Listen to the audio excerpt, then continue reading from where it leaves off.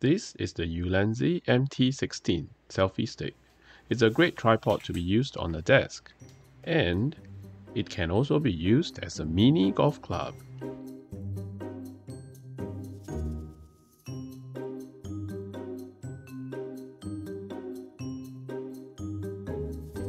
Wait, let me adjust the angle just a little bit more.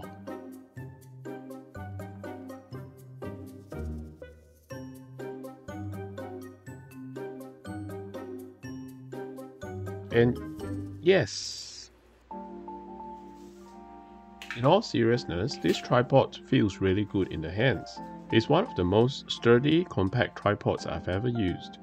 It's the perfect size for my use case, not too big, so I can fit it into my backpack, and not too small, to the extent that it's too flimsy. It gives me the confidence that I should be able to hold my new Sony ZV-E10 camera pretty well.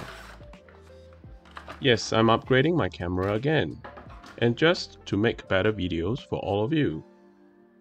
Back to this tripod. If you are thinking of getting a tripod like this, just go ahead and get this Ulanzi MT16. It's very worth its price. It is so good that I bought two of them. One to put on my desk in my room, and the other to bring out with me in my backpack.